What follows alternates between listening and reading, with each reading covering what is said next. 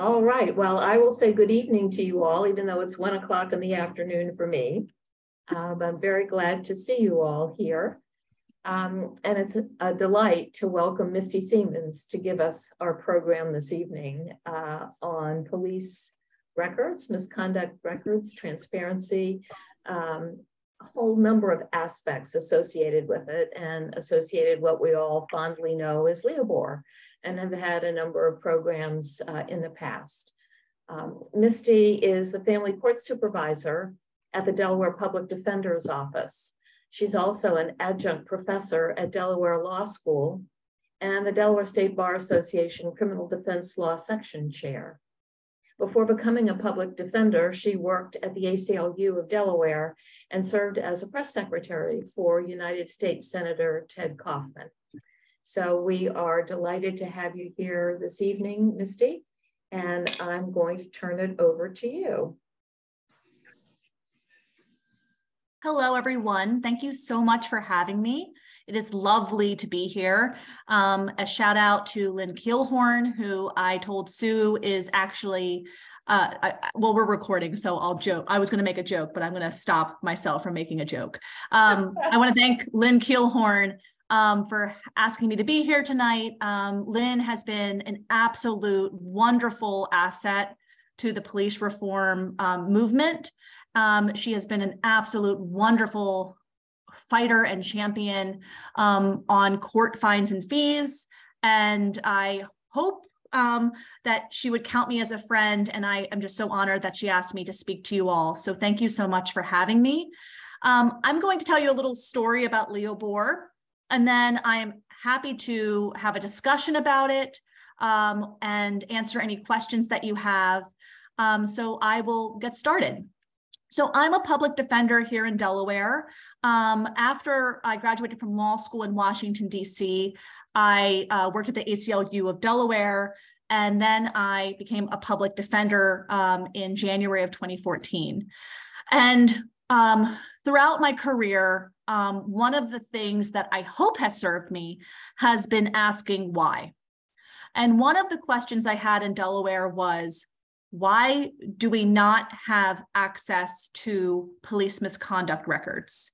And it really started as a as a little question, right? I didn't know um, when I first got admitted to Delaware practice that there was something called the Delaware Law Enforcement Officer Bill of Rights. I just saw strange things. I saw um, or heard about um, police officers not telling the truth on the stand under oath. My clients would tell me the same thing over and over and over again about police officers, and the names were the same. And one client didn't know the other officer. And so I started thinking about it. Um, and there was another lawyer in my office who was having the same thoughts. Why are we hearing these same stories about these same officers? Why are we hearing about officers not telling the truth under oath? And so the question led us to the law, which is Delaware's Law Enforcement Officer Bill of Rights. Now, that predates me, right? Becoming a public defender. Um, the Law Enforcement Officer Bill of Rights, some would argue, was a response, um, unfortunately, to the civil rights movement. There was a civil rights movement, as you all know, in the 60s, and um, there seemed to be a response to that in the 70s, which included why are there not civil rights for police officers? And that started out as a civil rights argument. And then what it started to become was um, what may some may call super due process for police officers. And what I mean by that is, is that there are certain laws in this country that entitle law enforcement officers to perhaps more due process rights than the average citizen. So that movement started in the 70s. And it started in Maryland. They passed the first um, Leobor, Law Enforcement Officer Bill of Rights. And I'll say Leobor just to save time moving forward.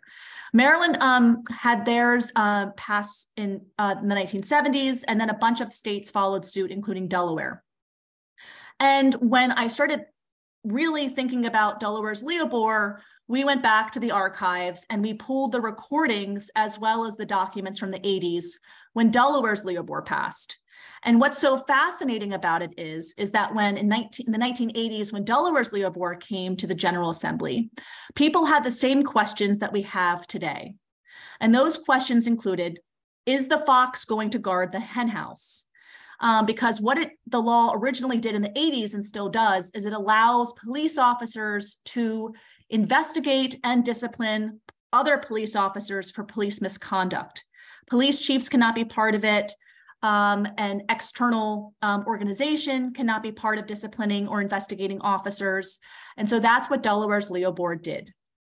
Um, but I think the important part for this conversation is that the police misconduct records, the things that came from that investigation, were not private. They were not secret under Delaware's Leobor. And then what happened was Rodney King. Here, by show of hands, who remembers Rodney King? Rodney King, he was beat by police officers in LA. And that was caught on tape. And that was caught on tape, as you all know, by a, an, a video camera, not our phones. And it was absolutely shocking to people that don't have to and don't work in the criminal justice system every single day. And that caught a police officer beating for a very minor reason.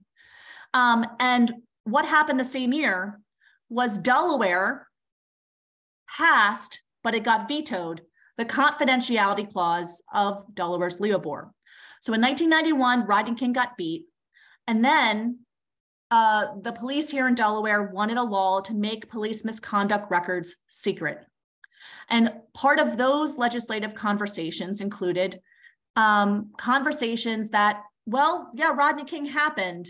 Um, and so that's a whole separate thing. Yeah, this law would keep those secret, but that's what the officers wanted. And what's so interesting about the legislative history of this bill to make police misconduct records secret is that then Governor Mike Castle, a Republican, um, as well as the, U- the Delaware Attorney General, Charlie Oberly, opposed making the police misconduct record secret because there was a concern about them going to the Attorney General's office. How would the Attorney General's office have access to these records if they're secret? And can only be shared in police departments with the officer being investigated. So it took four more years. And then eventually the secrecy clause passed the General Assembly and was not vetoed. It was signed into law by the governor, or at least made law. Um, it wasn't vetoed. Um, however, then the issue became well, how are lawyers who represent people who have been beaten up by the police going to have access to these? And so a carve out was made in 1996 to allow certain types of cases um, on the civil side, so for damages or injuries, not criminal cases, have access to this stuff. So, more or less since 1995, police misconduct records have been secret in Delaware. And we are the only state in the country with a law enforcement officer Bill of Rights that has a secrecy clause. Some states do not allow access to police misconduct records, but Delaware has the law, um, Leobor, and a secrecy clause in its Leobor. Most states allow at least some sort of access to these records. And that's where we find ourselves. Um, the other part of this, right, is civilian oversight. And that's the part of this story that the public um, has shown a lot of interest in for a lot of good reasons. And those reasons are that Civilian oversight is also common practice in most major cities in the country. And we have almost no civilian oversight of the police. Um, I can get into the details of what organizations have some sort of guidance over the police. There are some civilian boards here in Delaware, but they don't have the teeth to be able to do what a lot of the other ones in other states do. And it's important, right? Because the only um, individuals right now inside a police department that are investigating and disciplining officers are police officers. Um, and then if you have made a complaint against the police officers um, for something that's happened to you or a child or a grandchild, you are not entitled to the results of that complaint. What I have heard very recently from a police officer is we tell you the results, and the results are substantiated or unsubstantiated, and that's it. They don't tell you how it was investigated. They don't tell you what they did, and they don't tell you the discipline. I also um, don't know if necessarily even substantiated or unsubstantiated is shared with everyone who makes a police complaint. So when one thinks to themselves in Delaware about how many millions of dollars that we spend on our police, how sometimes that is the majority of a budget of a local government, about how the fact that taxpayer dollars are the ones that are paying for the internal investigations of these police officers, how taxpayer dollars are paying for the settlements going to families that have been subjected to police violence.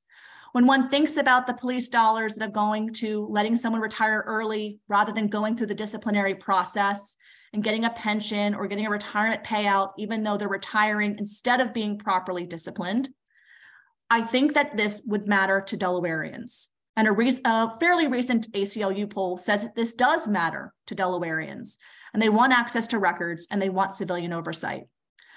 Um, I think that, you know, the thing is, if someone has not been subjected to police misconduct or knows people that have been, it feels like a very foreign idea.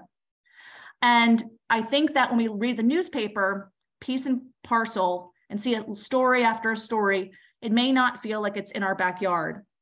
And unfortunately, it is. And in Delaware, there have been examples that have reached the paper where a police officer has committed misconduct. And they reach the paper because the officer's been arrested. But those examples have unfortunately included officers that have 10 years of discipline. I'm not making that up. A Wilmington police officer had 10 years of disciplinary problems leading up to the final straw. Uh, DUIs, um, allegedly breaking into someone's home because he was drunk and didn't know it was his home, and getting involved in a DUI um, and saying to the people that uh, that were witnesses, "I'm a cop. Please don't do anything." And then the final straw was sharing um, an inappropriate photo with a female officer. There are examples where an officer has 29 use of force uh, reports and then is caught on a mobile vehicle recording stomping on a man's head. That man then gets tried, the police officer gets tried, um, acquitted, and jurisdiction hops to Maryland, where unfortunately that officer was involved in an arrest that led to a young man's death. That man was Anton Black. It was the subject of a, Dateline special, as well as Anton is now, uh, his name been memorialized in Anton's Law in Maryland, which overturned its uh, Leobor and are now making police misconduct records public. Um, and so there are examples here of where this is an issue, and I can list more of them as well. And I think that um, when however we think about it or relate to this issue, whether we see the video on Delaware Online or we see the video on social media, or we hear about another example in another place um, where police misconduct occurs, it is something that um, is unfortunately happening here and is happening in secret in large part. And I, what I say to people who may not, I think, necessarily connect to the issue as deeply as me or some of my colleagues do is what if I told you right now that in Delaware, the law was to have police misconduct be public? And there was a movement from the FOP, the Fraternal Order of Police, and the police chiefs to make the record secret, to make police, police misconduct investigations and discipline secret. I don't think anyone would support that. And so, why are we keeping it secret now? And why are we keeping it secret when the majority of states have at least some sort of access to these records and the sky hasn't fallen? Um, and why are we uh, don't have civilian oversight when the majority of large cities have some sort of community oversight and the sky hasn't fallen? Um, so for those reasons, I you know I argue that I think that it is time in Delaware to to make police misconduct records public um, to make sure that we have a viable community oversight of our police. Um, and I think that we can do it. And I think that the time is now to do it. Um, so those are, that's what I've been working on just as part of a small part of my work at the public defender's office. Um, I don't know if anyone has you know, any discussion points or questions.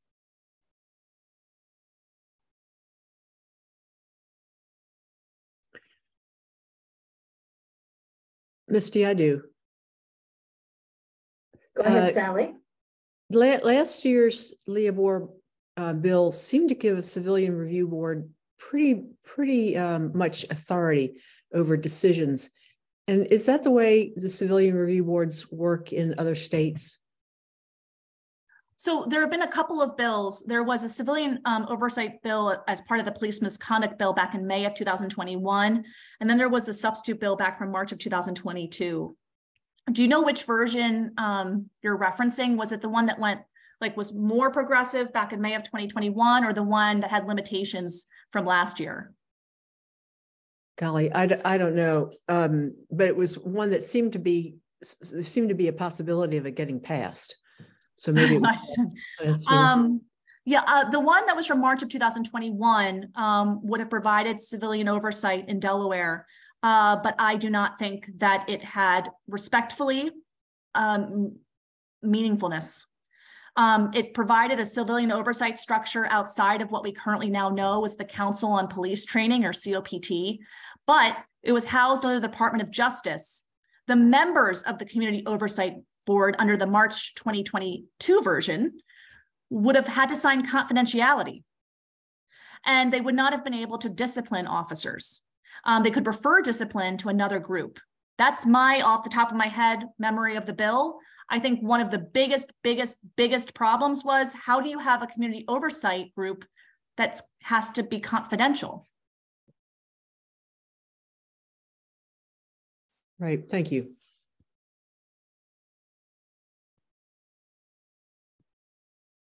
Maura? Hi, Misty. Um, I I mean, I can guess where the opposition is.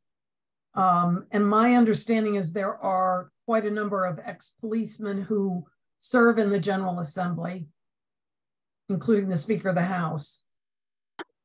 Um, does that have to change before we can have this kind of reform?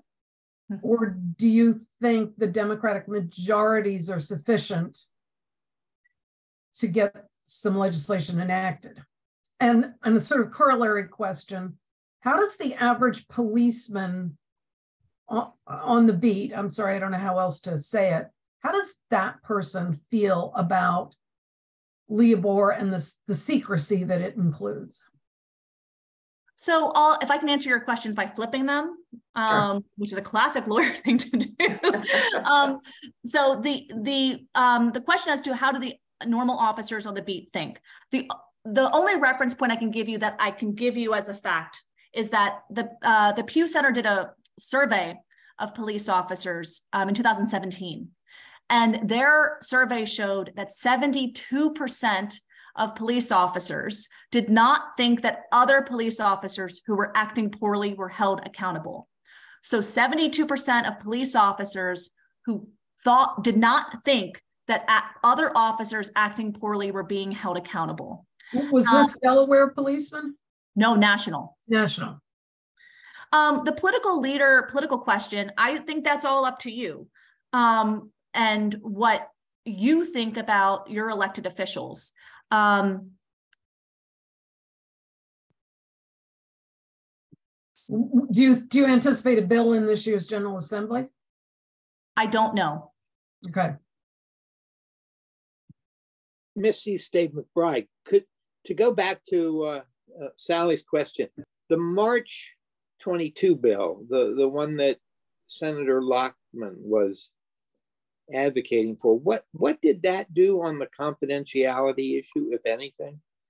So my understanding of the March 20, March 2022 substitute bill is that on this community oversight part, the community oversight would have been housed under the Department of Justice, and the members of it could, I believe, subpoena, but they couldn't. Um, uh, they couldn't. The, the the findings, what they were reviewing, had to be confidential. But so there was no, I mean, if I'm understanding you correctly, in a in a civil case against a police officer, which has got a considerable hurdle to get over on a motion to dismiss in terms of, uh, I guess what's what's it called, the qualified immunity, or well, people can sue the police department um, for misconduct, and that uh, qualified immunity, in my understanding, only applies to that direct person. Oh, okay. So in a, in a in a civil suit, does the plaintiff get access to the if there's an officer that's in or officers who are involved in the matter that gives rise to the suit, can the plaintiff in that case get access to the disciplinary records of the officers involved?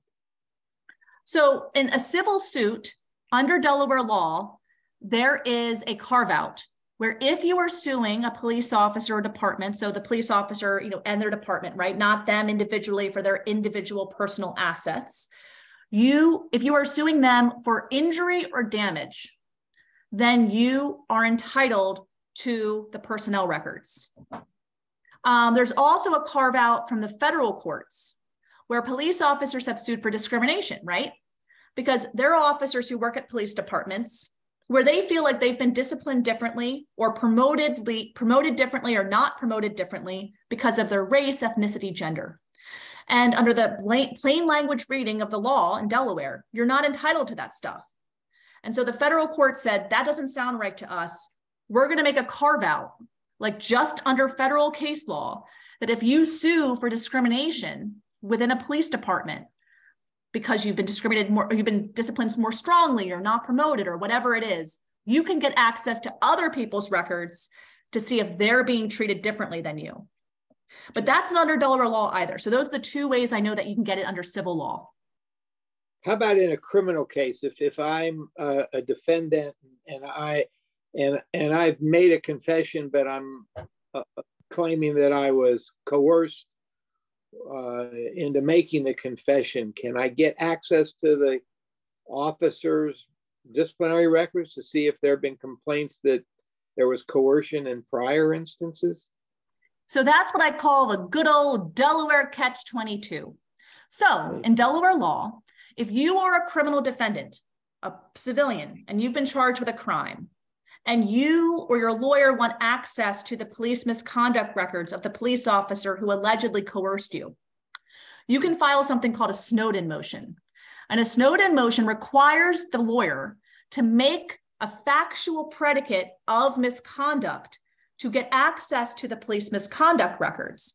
And then if you jump over that hurdle, the judge gets to review the records in camera, which means they get to review them by themselves in chambers, right? Um, so here's the problems with that. Number one, it's a catch 22 because how am I going to know that there's a factual predicate of misconduct if I don't have access to the misconduct? And the second issue is, is that the judge gets to review it if I've somehow jumped over that hurdle. But the judge doesn't know what my defense is. The judge may not know that I believe that my client was coerced into a confession. And so having an in camera review, in my opinion, is not sufficient. And then there's more problems than that for the lawyers on the phone who just love lawyer stuff.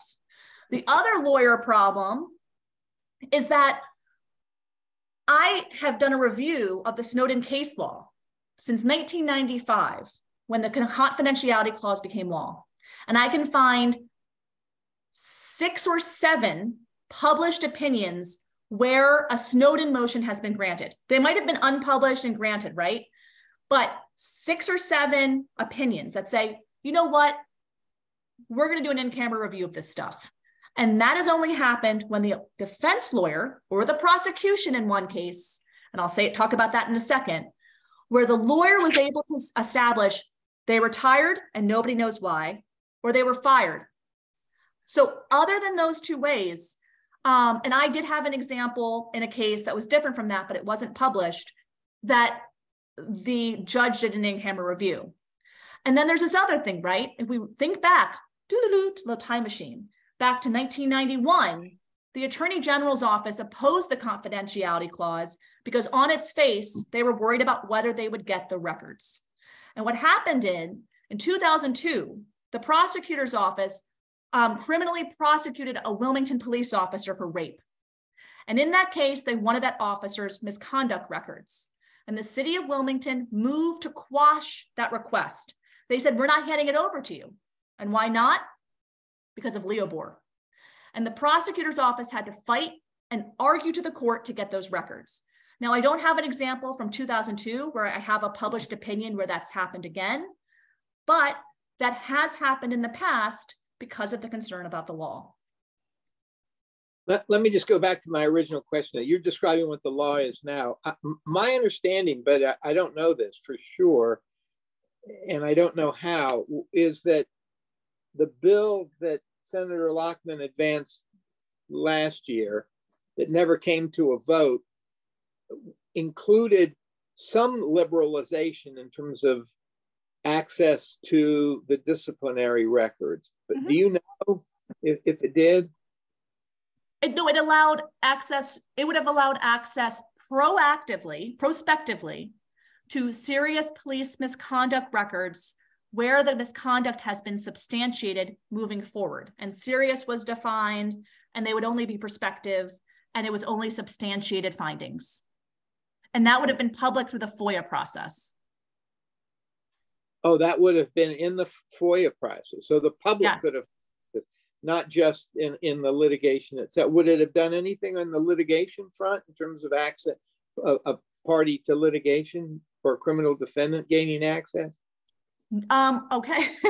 Sorry, lawyer stuff again. Um, so, um, good question. So, um, in the substitute version, as it was published, there was nothing about lawyers, even the civil lawyers. Um, I believe um, that was an oversight. They meant to include the civilian branch to get them back their original access. However, um, under Delaware law, um, you, can, you all can play a drinking game every time I say under Delaware law if you want. Um, there, it, Delaware public defenders, um, the courts have said we don't get to FOIA. We don't have a FOIA right as a state agency. Wow. Uh, I'm sorry, say that, say wow. that again. State agency can't access documents under FOIA.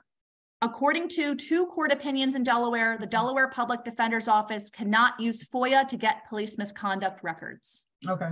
That's why we've been fighting for a discovery right like the civil bar has. And the civil bar is fighting for injury or damages. We are respectfully fighting for people's lives.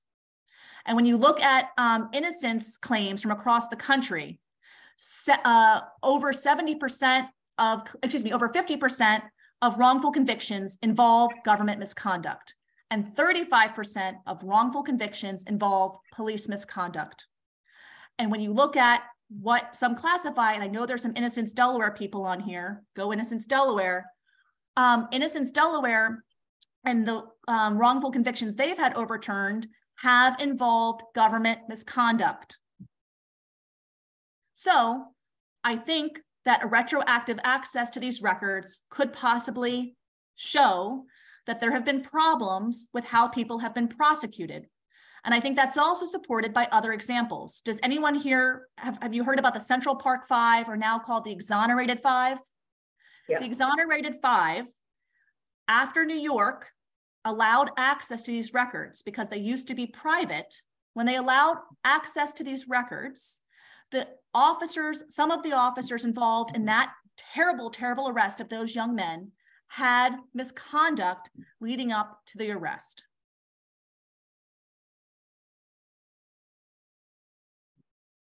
Roger?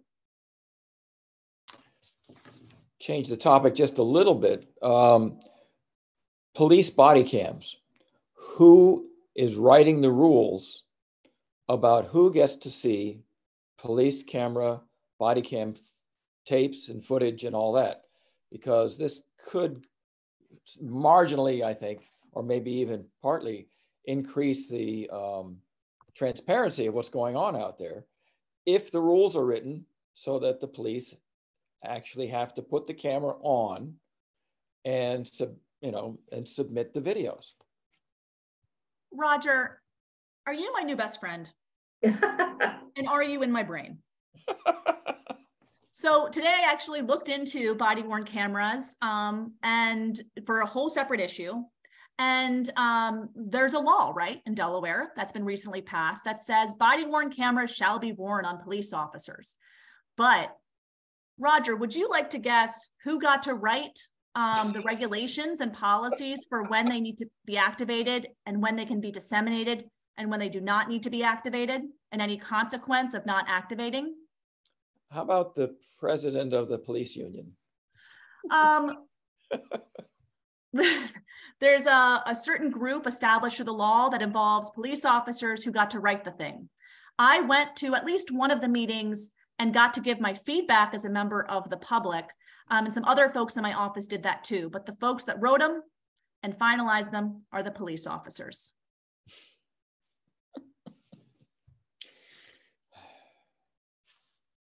Sally? Could I ask a, a follow-up question about civilian review boards?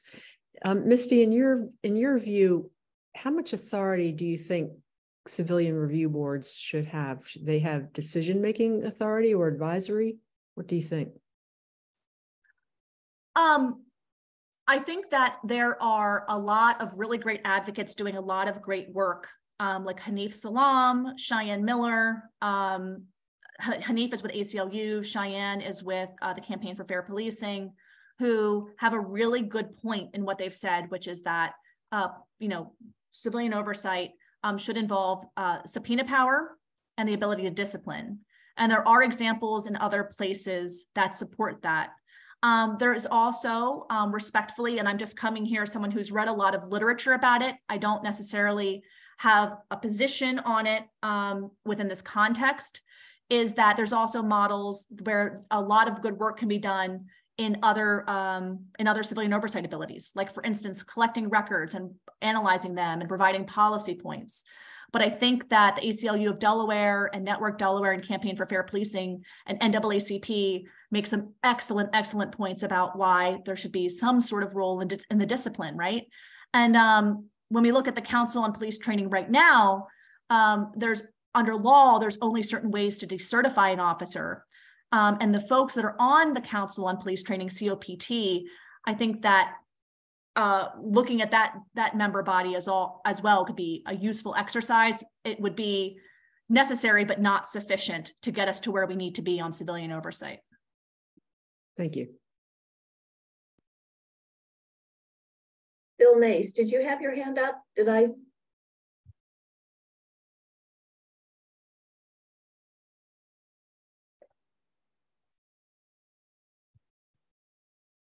Oh, that pesky unmute button. I mean, sometimes at these things, people wish I could find my mute button. So that's the problem and the load that I bear. There have been a couple of recent cases in the newspaper that I have read from a distance. Um, certainly one was the conviction of the police officer for lying about uh, changing the barrel on his gun. Um, and then there were a couple of others that I saw where there was a divergence of opinion or perspective on what happened in an arrest, and there were no body camera videos available to substantiate the, the point. And, and, you know, that was in like a week's time. Um, and so it would seem to me that um, in the interests of those police officers who are doing their job well and are faithful to their charge, at some level, all police officers end up tainted by the actions of the fewer uh, that don't play by the rules. That the 72% number, I would actually think it might even be, be higher than that. Um, and so I struggle to understand, and I suppose I would have to ask them directly, the representatives in the General Assembly who are just bound and determined that that Leobor as written will not change. I, I followed the hearings with the commission that was put together by the uh, previous legislature. I uh, went to a number of the sessions. They seemed to be making some progress. And then it all just fell apart. And the sense I was left with was that there was stuff happening behind the scenes that had nothing to do with the work of that commission and the and the hearings that were going on. And I know ultimately it led to the substitute bill that Tizzy Lockman introduced, but the whole exercise seemed an exercise in futility, that it almost mm. didn't have a chance from the beginning. And I, that's troublesome in the sense of the legislature authorizing a task force like that with an intended stated purpose. And it almost seemed that the result was a foregone conclusion. Hmm. Hey, Sue, I, I think that's a little incomplete because the the bill that Senator Lockman ultimately supported last year never came to a vote because I think it was principally the ACLU came out in opposition to the bill because of a belief that that bill wasn't strong enough and that that bill was worse than no bill at all. So there was some degree of compromise, and I really don't know how modest it was. I'm, I'm assuming it was pretty modest, if, uh, but but there was some movement, and it was the advocates for change who blocked that bill from coming to a vote effectively. Uh, Maura, did you have a comment about that? I, that's my memory also that uh, the ACLU felt that if the bill last year had been passed, um, that, that it was inadequate on its face. And if it was passed, the fact that it was passed would keep any future reform from being passed. You know, the argument would be, well, what do you mean we did something in 2022? What else do you want? So I think the ACLU couldn't support with SB 149, maybe couldn't support it because it was inadequate and they were afraid it would stop future reforms. And I, I thought, I thought it, I thought their concern had to do with the what Misty talked about, the the makeup of the civilian review boards, but I'd have to go back and, and check that. That that that's consistent with my understanding. I thought I think the biggest objection was that the civilian re, re, review boards were grossly inadequate. Um, Meaningless. Yeah. Um, and, and I think there was a debate about whether politically that was the right move to make or not. I'm, I'm not sure that the people who made that decision last year would make the same decision this year, but but I don't know. Um, but but there was some movement at least. Um, uh, no, and there was there was some movement. There was no nothing put into effect. So a right. lot of a lot of uh, heat, not a lot of light, I guess. Um, yeah, but it wasn't. It, it, it I mean, it it it wasn't completely due to opposition from the anti-reform Oh groups. no, no, no. I understand. I understand. But but all things being said, that task force that put, was put together and did an enormous amount of work. The result yeah. was no action. That's all. That's all I'm saying. Uh, Sheridan, you have your hand up. Yes, um, Missy uh, mentioned that the the, the payment uh, come from the taxpayers. Do you mean that it comes from the taxpayers because we, the taxpayers pay the police and therefore is that reason? Is that so? Okay, so where should the money come from? Should it come from? Uh, how how do other states pay if they don't? If it doesn't come from the from the taxpayers? Do you have examples of that? I think that my point respectfully goes more to the fact that if taxpayers are paying for discipline proceedings and paying for payouts and paying um, for the consequences of misconduct, the very least we could give them is what happens in those misconduct hearings. Um, so it's not so much a matter that I'm articulating a point of should something else go there, like you know, qualified immunity or having to have personal insurance or something like that. My point is more that in our internal affairs process right now, Delaware taxpayers are paying a lot of money. And I think that money entitles them to the thing. Misty, do you know if other if the are the personnel records and disciplinary records of other state employees accessible by the public? Do you know? In Delaware? Yeah. In Delaware, there is a personnel record exception to FOIA where you cannot get others' personnel records. However, there are other ways to find out whether someone has been disciplined. There are boards that make findings public in other professions. And there's other ways where you can um, make a complaint about an individual or individual and profession um, where those complaints become part of a court record, for instance. Um, but as far as to your direct question, um, there are several exceptions to FOIA and personnel records are one of them. Uh, Sheridan, your hand is still up. Did you have something else you wanted to say, or is that an artifact of your previous question? Oh, very good. Roger? Uh, Delaware is a one state that has no ability to have a referendum on anything and have it become law. Uh, California, and I don't know how many other states have this option, legal option, uh, to have action taken, laws passed by public referendums. Is there any uh, any anybody in favor of such a such a thing? We're a small state, and uh, it might be quite an interesting uh, exercise if we were to have that sort of law.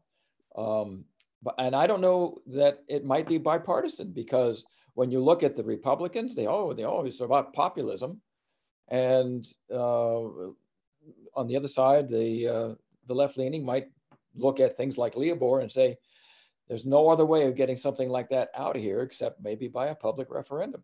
Is there any stomach for that in any part of the state? Not that I know of. Um, that is not necessarily my wheelhouse. Um, so I don't I don't know if I can comment on that. I don't know if anyone else has an opinion on the call. I, I think if you look at what's happened in California, you'll it the at least the referendum process that's available in California has created problems for California. Um, I mean, just for example, and, and it, it, can happen from both sides, but sometimes the referendum aren't very carefully written, and if they pass, it's not clear what they mean and how they interact with other laws and stuff. So it, it, it's a it's a difficult process, but that's not to say it, it should never exist. I, I, it's just it's it, it it's not a it's not easy. There's problems. Yeah, I, I imagine there is. Yeah. Sandy. I have a question about the the police officer who left Delaware and went to Maryland did Maryland have the opportunity to know what the the officer had done in Delaware, like if he had a, a bad conduct record, did Maryland have any way to find that out? Like if they called for a reference, could they get that information or does the secrecy cover even that? So um, there have been issues with jurisdiction hopping and whether records are shared. My understanding in that particular case is that um, the officer who hired, I believe, um, that particular officer from Delaware to work in Maryland did not knew about the records but did not share them. And I think the other thing that I just want to fairly note is that that officer was tried and acquitted in Delaware um, before he was hired in Maryland. And so there were things on the internet about the officer going through that trial. And I also believe references in the online articles about the records existing. And he was still hired in Maryland. So I cannot fairly say that Delaware law prevented that information from being shared in Maryland. Um, but I do know that, uh, at least according to what I've read, um, the records were unknown to certain officials who hired that officer in Maryland because of another Maryland officer's action. Um, and I believe that Maryland officer was also charged. Thank you. Moira?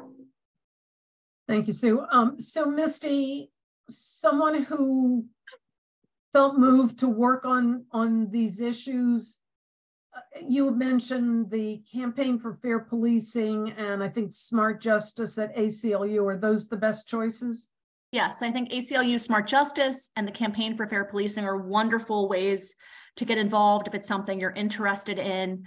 Um, particularly ACLU Smart Justice campaign is, is actively working on these issues and canvassing on them and also doing a really wonderful thing. They've been having um, town halls with people just at you know places like the Boys and Girls Club where people can come and talk about police reform. Um, I would also recommend that elected officials come to those if possible so that they can hear from people what they're experiencing. Um, and that's that's been, I think, one of the most active groups on this issue. And I, again, I have to give a heads up to Hanif Salam because he has been a fantastic community advocate um, on this issue. I, I think it's the case that if you go on the ACLU of Delaware website, you can sign up to their email distribution list for the Smart Justice campaign. And, and that will tell you things like, you know, when they're going to have a town hall and so forth. Yes. There's a meeting tomorrow morning that I was planning to attend, and I think it's open to the public. If anybody's interested, email me and I'll I'll share what I got. Can you put your uh, email in the chat, Dave? No, I don't know how to All right. You tell me what your email address is. Uh, D. McBride at ycst.com. Sue, I'll just email it to you and you can distribute it. Yeah, they all got it. Okay. Dave, what is the meeting tomorrow? What can you say at this point? I, I don't know. This is the first time I've attended. I'm through the um, Delaware Center for Justice. I'm working on a project with the Smart Justice Group with respect to expungement of okay. criminal. And uh, I was invited to attend the meeting, hmm. but I got the impression that anybody who was interested could attend, but I, I might be wrong about that. I, I don't know.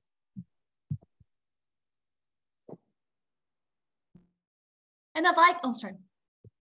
Go ahead, Misty. Oh, I think it was Bill had a, Bill had his hand up. Yeah. Bill? You're muted, Bill.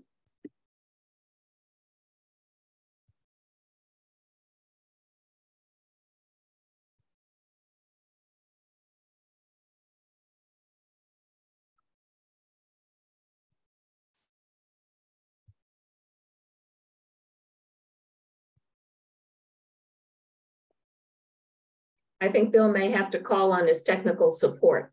Uh, Ruth was Ruth was here a few minutes. Oh, there's Bill. Did it on your own. Good job. On my own. Yeah. Dave, I think the the meeting just just having come off of a uh, Smart Justice monthly meeting at four or five o'clock this afternoon, I think the meeting that you've been invited to has to do with expungement and uh, not uh, police reform. But at any rate, the way I understand the status of police reform legislation at this moment is that a, a bill has been written that excludes civilian review boards, excludes uh, many of the big issues but opens up the transparency dilemma. It is a, it's an effort to, to, to get a piece of the pie and to, to try to get that into some sort of uh, legislative process this year, if possible.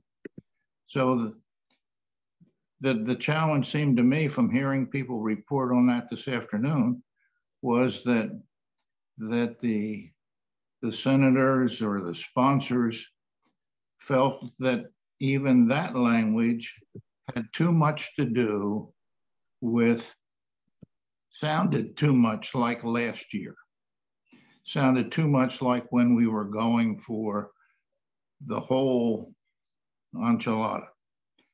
And, and so it, it has bounced back for some sort of rewriting or rewording to uh, to make it uh, less like last year. And uh, I, I, I, I was just wondering if if our guest is um, has a view of of what what what are the odds of anything happening in in this particular session? Bill, if I had a magic eight ball, I still wouldn't be able to answer that question. I I don't know.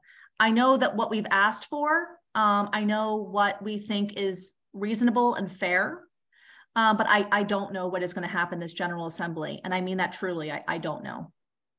Um, I can tell you that what our asks would be, um, and from members of the public to ask for of your legislators, if you're so inclined, are the following. Um, we do think that serious police misconduct records should be public. Um, we do um, believe that there should be um, a statutory access right for attorneys. There's one now for civil attorneys. There is an understanding that prosecutors get them, and the only ones that are left out are criminal defense attorneys who represent people who are often, or sometimes at least, I should be fair, um, facing the rest of their lives in prison. Um, we are asking for the release of substantiated and, um, and unsubstantiated records. And um, unsubstantiated becomes a point uh, with people that I speak to. Why do you want unsubstantiated? It was unsubstantiated. And here's why. Because there's patterns that emerge when you look at unsubstantiated records. And when you look at places that have had major problems with policing, like Baltimore, and I, I recommend all of you to watch a fantastic show if you're interested in this issue called We Own This City. It's on HBO and it's from the folks that wrote The Wire. Is anyone here a Wire fan? Best, te- best television show ever. The guy that wrote The Wire wrote We Own the City, and it's about the Baltimore Gun Trace Task Force. Um, it's a true story, um, and it started from little things um, like unconstitutional practices and then grew into full on corruption, stealing drugs, and stealing money. And in that case, there was a federal prosecutor who something just wasn't smelling right. And she started investigating it. And um, the, at least one of the officers on the governor's um, gun task trace force um, had all of these unsubstantiated complaints and like one substantiated complaint. And it's because, respectfully, the police officers get to investigate and substantiate it or unsubstantiate the claims. Um, and so in that case, that blew up into an entire criminal prosecution of those particular police officers. And so we believe, especially in looking in other places where unsubstantiated or public, that patterns emerge uh, because it really isn't, in my opinion, all officers. There are some officers who engage in misconduct. And I you know, I think that what the survey showed that I referenced for you is that other officers um, are worried about the officers that are engaging in misconduct and how that can um, relate to a whole parade of problems that um, occur from then on there. And then finally, and this is very important, is retroactive access. I would sing a song because I went to Cab Calloway School of the Arts. I would sing a song to you about how important retroactive access is. But I'm going to um, I'm going to not make you be forced into that because I was not a vocal major at Cab Calloway. I was shockingly a drama major. And so retroactive access is important because I truly believe that there are people currently sitting in prison who have um, been impacted by police misconduct, just like the exonerated five, and we should know about it. Um, and I also worry about prospective access, um, allowing a whole host of things to change moving forward. Whereas when they used to be private and everyone thought they were private, things were handled differently. And so retroactive access is very, very important. So those would be our asks. Okay, thank you. So one of the things that we focus on, the Peace and Justice Work Group at Westminster and associated advocacy uh, and justice groups elsewhere, is the importance of education about learning things that we didn't know before. Uh, and, and we are very grateful to you, Misty, for being here tonight and sharing this information with us. The proof, however, is in the pudding and in taking action and engaging with groups like Fair Policing Delaware or Smart Justice Delaware, advocating with legislators, voting for people who um, support the views that we think, that you think are important. It is almost certainly true that most of us sitting in this conversation tonight are not going to be, uh, not going to find ourselves at the mercy of officer misconduct. We are unlikely to connect with the criminal justice system in a way that that might happen. And yet, we know it happens. We read about it every day. And it would seem that justice would call for a degree of transparency and accountability in police in our state, and that our voices should be added to a chorus saying, This must change. So I ask each of you to consider that, to think about a role that you might play. Uh, from active to interested to affecting your vote. Um, change can happen, but only if we work to make it.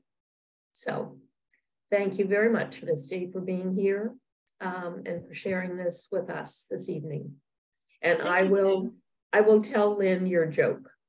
Oh, thank you, Sue. You said it way better than me, and you should have just done the program because it was so uh, beautiful than what I had to say. Thank you so much all to all of you. I also want to thank you because I know as someone who who has done um, you know policy work and and a little bit of community stuff that your church in particular and this group of people is very very active on progressive issues and criminal justice issues. And I know some of the names. I remember some of you um, speaking at transparency uh, subcommittee meetings um, when we were doing the police transparency subcommittee meetings. So thank you so much for all of your work. Thank you for having me. Um, and if there's anything I can do to give you more information or have this conversation, please let me know. Um, but thank you so much for your time and your work. Thank you everyone for being here. Thank you so much. Have thank a good you. night. Thank you. Thank you. Good night.